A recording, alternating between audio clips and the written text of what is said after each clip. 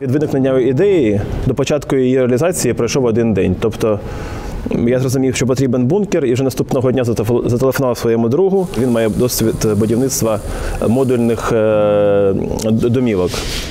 Я запропонував йому зробити те ж саме, але під землею. Тут ми бачимо основний вхід та будуть сходи йти наверх.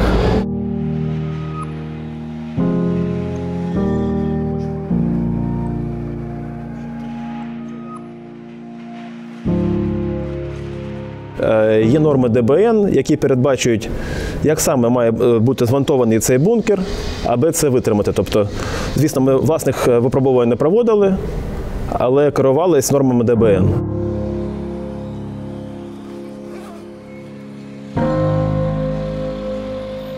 Державних установах, е, школах, е, дитсадочках, але там буде більш спрощена схема.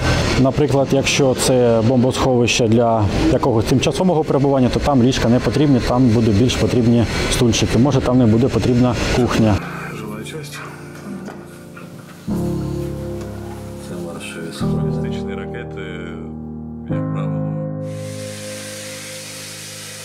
Ми плануємо по всій країні працювати, тому е, і робили такий розмір е, контейнеру, бункеру, щоб його можна було перевозити по, по дорогам.